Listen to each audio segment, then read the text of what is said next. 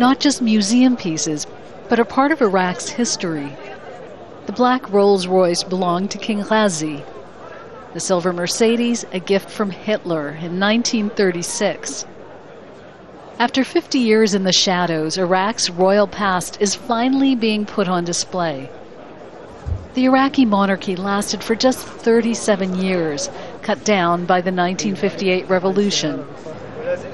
But for many Iraqis, it represents Iraq's golden age.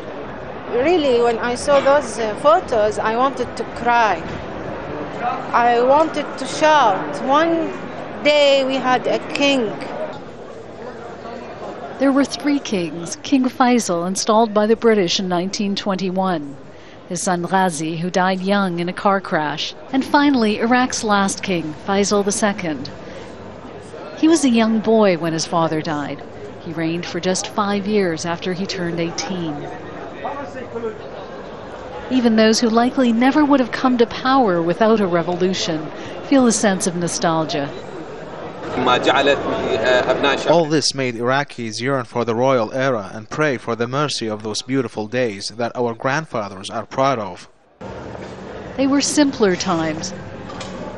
The gift for Prince then was a Chinese bicycle. Before the grand balls and the royal dinners, King Faisal II grew up almost an ordinary boy. That all ended with a revolution that ushered in a republic, eventually headed by Saddam Hussein.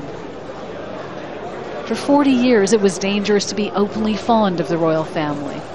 This is the first time there's been an exhibit like this in Baghdad. These photographs show some of the glamour of the royal family in Iraq. But what they don't show is the tragedy that came after. Most of the royal family was murdered in this palace on July 14, 1958 some of their bodies dragged through the streets. The objects on display here are part of the few that were left over from the looting. It's all part of history now.